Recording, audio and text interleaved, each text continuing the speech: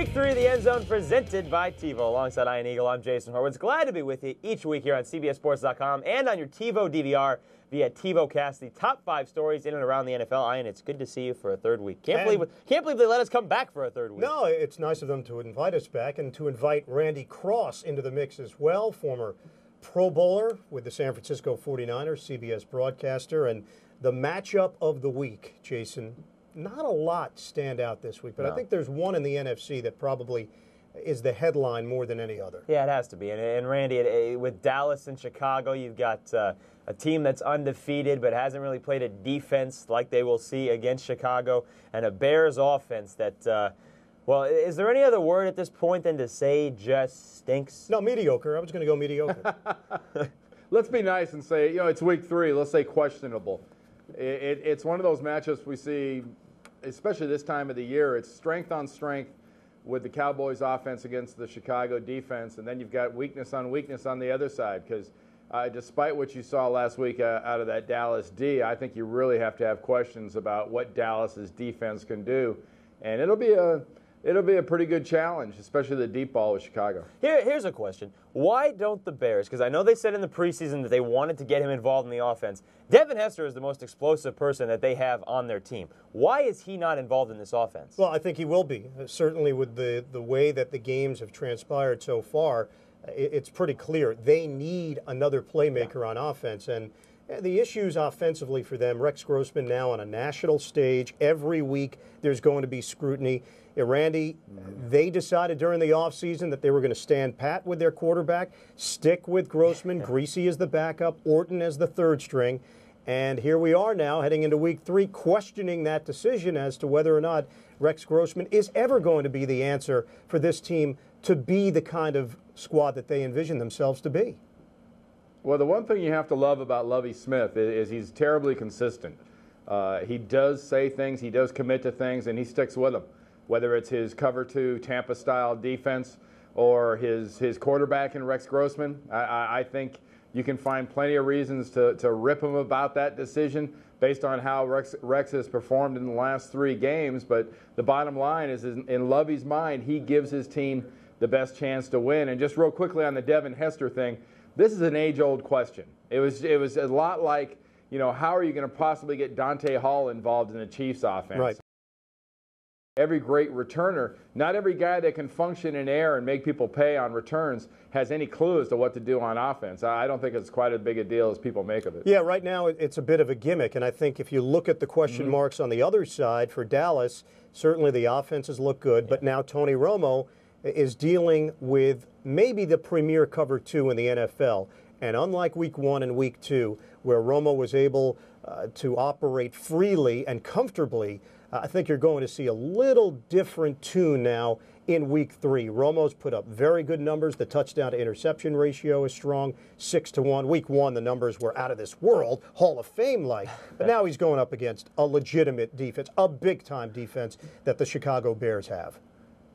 Yeah, at no time during this season will anyone confuse that Bears defense with a Giants defense. so he'll have to kind of get over that one. Uh, I, I think the big challenge for the Dallas offense is going to be committing to a running back. Everyone wants to have two. Well, in reality, they only have really one that makes a quick, decisive decision, and that's Barber. Uh, Jones is trying to dance a little bit, and if you try to dance against Dallas, they're going to absolutely pound you. Well, what Wade Phillips has said, though, at this point in this week, he will continue with the same system he has been doing it as series by series. You know, but there is one piece of news heading into this game, and it's not the speculation, and it's not the uh, you know team weakness against team weakness, strength against strength. Tank Johnson, the former Bear, uh, was cut. He's serving an eight-game suspension in the NFL. Has signed a two-year deal with the Dallas Cowboys. Obviously, won't play this game, but there is the air of uncertainty about what he knows about this Bears team that maybe he can help the Cowboys. Randy, you're an offensive lineman. Tell me what defensive linemen actually know about scheme. Well, first you'd have to ask most of them to spell it.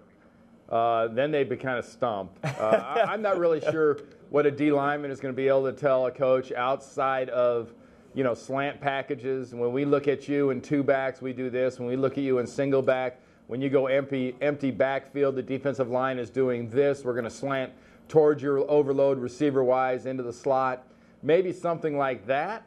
Um, but you're not talking about a free safety. You're not talking about a middle linebacker. You're talking about a defensive tackle. And, and I'm not sure if there's really that much value. I, I think the signing is more of a distraction for the Cowboys and a and not a laughable matter for the Bears, but it's not really much of a much of a factor. Yeah, All right, we let Randy pick first last week. I'm Yes, picking did. first this week. I've just made the big decision. Oh, well, let's get to your pick in a second. Let's relive here. How, how, how those how those picks go last Well, they didn't anyway? work so well. Let's wait get a to our. Wait a minute, Ian. Hold on to your thought here. Let's get to our TiVo rewind, uh, and, and it goes back to last week's game, the the Char- the Chargers and the Patriots. And Ian, uh, let's relive here what Randy did because, uh, truthfully, we were terrible on no, this. no, I Let's see don't what, recall any of this. Let's see what Randy is.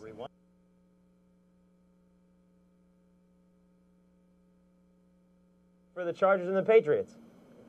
Well, I was going to say I love the Cowboys in that game. Uh, Yeah, smart man. I, I, I like I like the Pats. I think the Pats are about a touchdown better at this point uh, in the NFL season.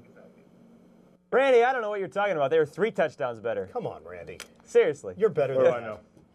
Goodness. You, you know, Ian was whining at the beginning of this about not getting to pick first last week, so I, I think we should let him pick first. I should get to So- pick so first. the absolutely. Cowboy- Go, let him go. All right, Cowboys and Bears. Pick. I like the Bears.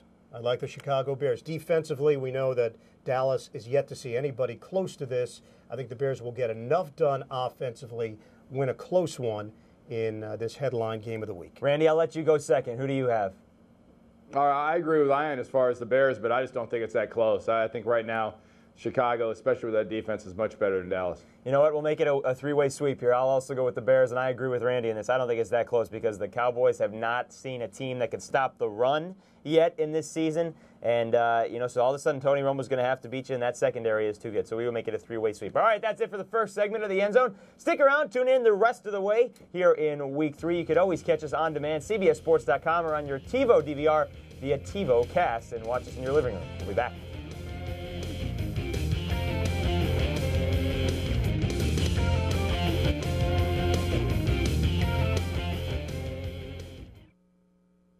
Yep, no problem.